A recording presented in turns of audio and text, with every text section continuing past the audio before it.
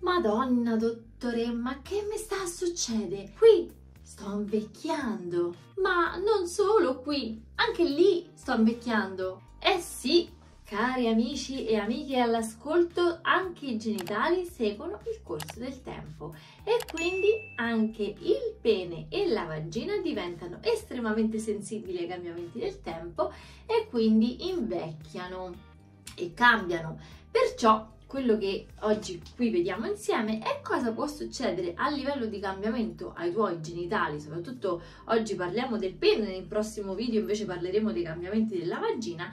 Questo perché? Perché non dobbiamo allarmarci se vediamo dei cambiamenti importanti, ma appunto immaginare che è un processo fisiologico. In fondo come cambia la pelle del viso, come cambia la pelle del corpo, cambia anche la pelle dei genitali. Questo perché i corpi cavernosi che rivestono il pene aumentano la quantità di collagene ma riducono la tonicità della pelle e questo è molto più evidente quando il pene è in uno stato flaccido.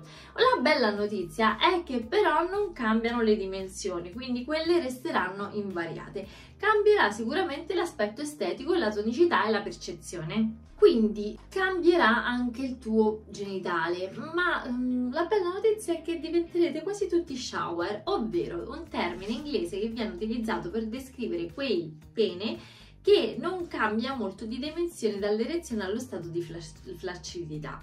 Quindi non ci sarà una grande differenza, la grande differenza che noterai sarà appunto sulla pelle, sulla tonicità, perché appunto sul pene, al di là rispetto ad altre zone del corpo, non ci sono stati adiposi. Quindi quello che succede è che si perderà facilmente la uh, tonicità. Chiaramente, come dicevamo, questo non incide sulle dimensioni, ma può incidere sul colore, per esempio, del pene che ti sembrerà un leggermente più scuro. Una cosa a cui prestare molta attenzione è la presenza dei nei nella zona genitale. Sì, perché come avviene che si creano nel resto della pelle, si possono creare anche nella zona genitale.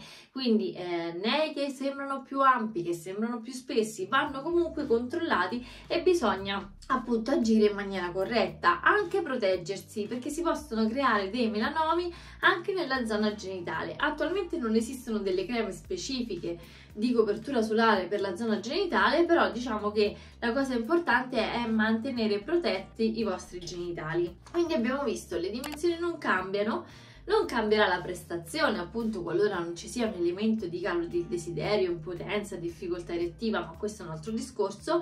Oggi parliamo appunto di come cambia il pene invecchiando e ehm, cambierà piuttosto il colore, quindi lo vedrete più scuro e diventerete quasi tutti shower. Ora vediamo se ci sono dei cambiamenti a livello di sensibilità. Allora, per quanto riguarda la funzionalità, possiamo dire che col passare del tempo il pene potrebbe perdere qualche colpo. Attenzione, non tremate. Hm?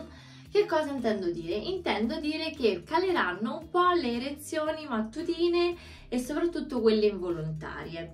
Eh, la buona notizia è che però si potrebbe ridurre la, la, mm, la gettata dell'eiaculazione. Infatti cambierà la gettata dell'eiaculazione ma cambierà anche la, la, quantità dello sperma. Quindi questi cambiamenti ci saranno ma non saranno dei cambiamenti che porteranno una difficoltà per quanto riguarda la vostra soddisfazione sessuale e anche della partner. Certo dobbiamo sempre prestare attenzione al calo del desiderio ma lì non c'entra niente l'invecchiare o non invecchiare. Lì dobbiamo lavorare più sul desiderio e più sti sullo stimolo appunto del desiderio che deve essere mantenuto negli anni quindi diciamo che eh, il pene invecchia ma non si trasforma del tutto e soprattutto non andrà completamente a cambiare la vostra vita sessuale.